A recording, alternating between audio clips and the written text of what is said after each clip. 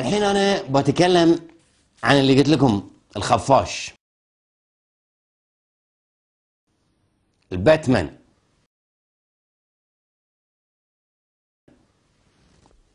هذه اللي تشوفونه في الكرتون هاي ترى مخترعينه مني. صبروا شوي صبروا شوي. أنا بحط لكم اللقطة مالته الكلام ماله وهذه شيء قليل جدا من كثير قاله بحق قيادتنا بحق ملكنا بحق رئيس وزرائنا بحق ولي عهدنا بحق المشير بحق ولي العهد بحق المشير بحق وزير الداخلية بحق كل المسؤولين. استهزأ سخر شتم سب لمدة شهر وأكثر من شهر كامل في الدوار ومن قناته ليليا يشتم. ليليا يسخر ليليا يخليهم يضحكون ليليا يتمسخر منهم ليليا يسخر منهم من هؤلاء القادة والرموز لمملكة البحرين. وإحنا ساكتين ما قلنا عنك شيء. لكن أنا الليلة بقول ما قال لساني. لا تقولون إن أنا قلت. سمعوا هو إيش قال وتذكروا إيش قال في الدوار؟ والأشرطة موجودة والسيديات موجودة وخطبك موجودة وأنت تسخر من القيادة. حط لي لقطة مع إن إحنا متحافظين على هذه اللقطة. متحافظين وايد لكن حطها بس كنموذج. حينما أحاط نفسه بمجموعة من الضباط الغزاة ولبس الملابس العسكرية بين كأن جنابه البطل التاريخي الذي أحبط مؤامرة عمرها ثلاثين عام. عجيب. يعني هاي المخابرات التابعة للملك والخاضعة للملك واللي شغلها مو دفع العدو الأجنبي وإنما قمع الشعب ماله. هذه المخابرات كم كانت قوية؟ 30 سنة الأجانب كانوا يخططون للبحرين والمنطقة وإذا بهذا الملك اكتشف هذه المؤامرة وأحبطها. شفتوها؟ هذه مجرد نموذج بسيط. هذه من هذا الدعي؟ هذه هذه المدرسي مرة ثانية ناطلنه اللي ما يطلع مثل الخف ليش سميته خفاش؟ ما يطلع إلا في الليل وبقول لكم ليش سميته خفاش. هذه اللي أسس الجبهة جبهة الإسلامية لتحرير البحرين اللي اسمها الآن جمعية العمل الإسلامي بين قوسين أمل. ذكرونكم بأمل مال, مال, مال, مال هناك نبيه بري. شوف أساميهم كلها متشابه جمعية العمل منظمة العمل الإسلامية أول ما نشأت نشات في العراق. زين في سنة 1979 ذلين ياو سووا منها نسخة ثانية. ما يهدون أساميهم ولاء ولاء للمنظمة الأم. ولاء للمنظمة الأم سموا روحهم جمعية العمل الإسلامية. يعني هذه الفرع هناك الأصل وهني الفرع مثل البنوك مثل الشركات الاستثمارية الكبرى. اسمهم نفس الاسم. فنفس الاسم هذه مرجعها من؟ مرجعها الشيرازي. بعد تقولون لي عربي اسم الشيرازي. وسموكم الشيرازيين. اللي أسس في العراق المرجعية في العراق اسمه آية الله محمد الحسين الشيرازي. انتبهوا للقب. ولذلك سميناكم في البحرين من أول ما طلعتوا بالشيرازيين. بعد شيراز في وين؟ في الجزيرة العربية. في وين؟ لين قلنا لكم تبعون إيران تقولون لا. الشيرازي من هو؟ خالك يا الخفاش. هذه هذه المدرسي خالة الشيرازي ذي. الوطواط. هذه خالة هذه المد... خالة الشيرازي هذه آية الله. فطبعا هذه هذه هذه هذه المدرسي هذه هذه المدرسي في حقد أعمى على البحرين وجبت لكم قصص أنا أكثر من مرة في برامجي. ولكن اليوم بتكلم عن شخصيته وعن تكوينه الشخصي. هذه الخفاش سلمكم الله هذه شو أقول لكم؟ شفتوا حط صورتي يا أخي وأنا أتحكي. شوف أذونه. شوف اذونه إيش كبرها. عبالكم هذه أذونة. هذه ربع منها نتفه جايبها هذه عليه أذون. شو أقول لكم؟ هذه أول ما ولدوه ابوه استانس قالوا له جايبين لك أذون مستانس. قال إيه؟ شغلها أول ما شغلها خمس سنين ست سنين. برادة. بقالة. أذونه سواها بقالة. فوق حق الآيس كريم. تحت حق البيبسي والكولا وتحت كلش حط العلوج وما كان تبون بعد خضرة فيها فيها كل شيء ذي البرادة. كلها أذون. وفي رواية إنها لها قفلين وفي رواية أخرى لها أربعة قفول على أذونه. بس طق واشتر. استفاد الأبو من الأذون الولد كبر قال ليش ما استفيد من أذوني؟ يا البحرين هني شغل أذونه علينا الخفاش في الليل في النهار يطلع مع الحكومة ومهادن ومسالم. سنة 1975 76 جاء إلى البحرين. منفيا من دبي واستقبلت البحرين وللأسف الشديد عطيته جواز للأسف الشديد. هذه نصه عراقي هلا متبريين منه مسمينه الأذون ونصه شيرازي إيراني. المهم يا البحرين سوى المؤامرة في فريج المخارقة في غيرها في غيرها ومشي الأخ. لما اكتشفت الحكومة أطردت من البحرين سنة 1979 في شهر أغسطس طرد من البحرين. وين راح؟ راح إيران. إيران ذاك الوقت سنة 1980 بدأت الحرب مع في في في شهر تسعة على ما أعتقد. بدأت الحرب مع العراق. شغلوا الأذون. شغلوا أذونه. حاملة طائرات حاملة دبابات يدشون بالحرب؟ يخشون الجنود فيها. أنتم عبالكم الفاو شلون دشوها؟ الفاو عبالكم احتلوها اشكره الفاو هذه عراقي. قالوا له روح وسوي روحك انت الحين تستأذن من السلطة العراقية وانك غلط.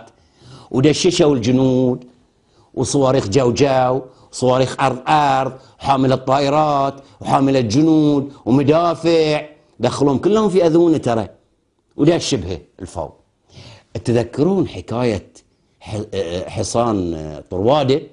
هذه أذون طروادة. هذه الحين أذون. دشوا باحتلوا طلعوا من اذونه صدقوا العراقيين طلعوا من اذونه واحتلوا الفو عبالكم. عبالكم هذه ش... هذه اذونه الحين تدرون شو يستخدمونها؟ أسلحة الدمار الشامل كلها فيها. ما تشوفون أنتم المفتشين مستاذيين، مفتشين دوليين، برادعش اللي خلاه يستقيل. كل من راح إيران ما لقى. فيه فيه نووي، في اذونه. في اذون النووي يخشونه ويسافرون به. ويخشونه من مدينة لمدينة ينقلونه، كله في أذونه. تحمله واحد بس يجربه ترى ذي ينفجر. هذه هذه هذا الخفاش. هذه المدرس اللي اللي تسخر من من من بقول فيك ما قال لساني يا أبو أذون. لأنك أنت سخرت من ملكنا أنت ما حشمت والإسلام يدعو إلى احترام الموت. ويقول اذكروا محاسن موتاكم. أنت شتمت. شتمت بلسانك وفي الدوار الراحل الأمير الشيخ عيسى بن سلمان آل خليفة. الله يرحمه. رحمة الله عليه شتمته. وشتمت عياله وشتمت عائلته وشتمت مسؤولينه. ولذلك أنا هني حاطك اليوم. حاطك اليوم هني بجيب سيرة إنسان اسمه الأذون. هذه ترى ما عنده شيء يقول لك تدري إيش قال؟ في مقابلة سنة الثمانين قالوا له يقولون إن أنت يعني لك ضلع في المؤامرة في البحرين. قال تهمة لا أنفيها وشرف لا أدعيه. وتموا هذين الميهل اللي ما يعرفون في الأدب ولا يعرفون في السياسة مستانسين. أول شيء دي مو بكلمته. هذه كلمة تستخدم من سنين وبنين. فهو قاريها واستخدمها. عبالهم هو مخترعها. بعدين إيش قال؟ تهمة لا أنفيها يعني يعترف بالتهمة. شرف لا أدعيه. يقصد أن أنا مو بروحي هذه اللي يبها عليه. كان أقول لكم اللي يفكر بذونه؟ ريال مخه في أذونه ريله في أذونه دكانه في أذونه اسلحته في أذونه. للحين للحين للحين مفتشين دايخين. وين وين النووي؟ وين النووي؟ وين النووي؟ في أذونه. وأنا أقول لكم في أذون هذه المدرس يفتشوها. ابالكم تطلع بها كاملة. هاي الربع اللي يطلع به. ربع اذون وذيش مخشوشة. ذيش مخشوشة يدزونها. لها مداري. ومن مكان لمكان يدبشون بها. من يوم مفتشين قالوا شيل الاذون هذه ودبشوا بها. مرة في قوم ومرة في طهران ومرة في أذربيجان ومرة على الحدود. ويعبرون بها رايحين جايين والله العظيم. هذه أبو أذون؟ غربالنا غربالنا. رد الحين شت- يشتم حكامنا. ورد الحين يتولانا وهو في نفس الوقت كان متآمر من ثلاثين سنة على البحرين. لأن الدليل على أن هذه ال- ال- ال- المنظمة السرية التي أنشأها في البحرين في العدد 32 و 33 من مجلة الثورة مالتهم بين قوسين الثورة ممثل الجبهة عيسى مرهون قالوا له شنو أهدافكم؟ قال أول هدف إسقاط السلطة الخليفية. موجودة. وبعد ذلك فشل الانقلاب في 81 فشلا ذريعا فخرج هذه أبو أذون في قلبه حقد على البحرين لأن خطته اللي طرشها مولاه وسيده خميني لم تنجح. فظل الحقد الكامن على البحرين طوال هذه السنين يحمله وين ما يروح وين ما يحل وين ما ينزل. إلى أن تهيأ له انقلاب الدوار فخرج علينا باذونه ليليا يصرخ. يصرخ علينا صراخ كان التدريب في العراق. منظمة العمل الإسلامي كانت تدرب. عسكريا في العراق. وأرسلوا ناس إلى لبنان يتدربون. عرفتوا؟ وتم تشكيل الجناح العسكري المسلح لمنظمة العمل الإسلامية الأم. وانضموا له ذلين. قد شفتوا منظمة عراقية تقاتل مع الجيش الإيراني وتفتخر بذلك؟ سنة 80 81 قاتلوا ضد بلادهم. هادي المدرسي كان يقاتل ضد بلاده. منظمة الشيرازيين اللي تتبعها هني في البحرين كانت تقاتل في العراق ضد بلادها سمعتوا شلون؟ هذه كل قصته. هذه إذا الإنسان ارتكب الخيانة العظمى ضد وطنه وقاتل ضد وطنه. إيش تعتبره؟ تعتمد هذه المنظمة ثلاث مراحل. أهم مرحلة عندها العمل العسكري. الأول يعدون ويوجهون مثل ماية هذه المدرسة في البحرين وفي الفرجان وفي الليل الخفاش يطلع يعد الكوادر. المرحلة الثانية العمل وسط الجماهير. يبدون يحشدون ويعبؤون و و و ويضمون يلمون.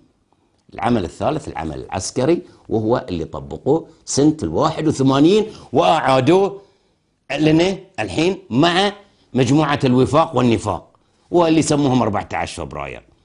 شعار هذه المنظمة كل يوم عاشوراء وكل وكل مكان كربلاء. هذه شعار هذه شعار شعار دموي شعار للحزن. شعار للقتل شعار للانتقام شعار مستحضر من بطن التاريخ من 14 قرن مضى لتطبيقه على المخالفين الآن. كل يوم عاشوراء وكل مكان كربلاء. يعني كل مكان كربلاء بيسيحون فيه الدم هذا شعارهم. الشيرازي مالهم شرد من العراق وراح قعد في وين؟ في إيران. من أعضائهم عبد الحميد المهاجر. عرفت شلون؟ قرار العمل العسكري متخذينه من 1975 في سنة 1980 طبق في البحرين. هذه حقائق ووقائع ود- ودلائل ما حد يقدر يقول عنها شيء. وكان يقودها ذيب أذون. هذه الخفاش الوطواط اللي اشتغل برادة يوم هو ياهل مثل ما قلت لكم. واشتغل حامل الطائرات واشتغل قاعدة إيرانية كلها بالهالأذون. أذون يا مال الضعفه ما تم شيء ما حطوا فيها. من صواريخ من مدافع احتلت الفو بأذونه. سوى شيء ما انكر بهالأذون. يقول لك عبقري عبقرية الا في أذونه. أي عبقري أذونه فايدته. أسلحة الدمار الشامل يخششونه ويدورون به. الحين النووي فيه. أقول لك أنا البرادعي هد الترشيح في مصر وروح فتش أذونه. إذا ما طلعت لك الحق. عطني فاصل يبا عطني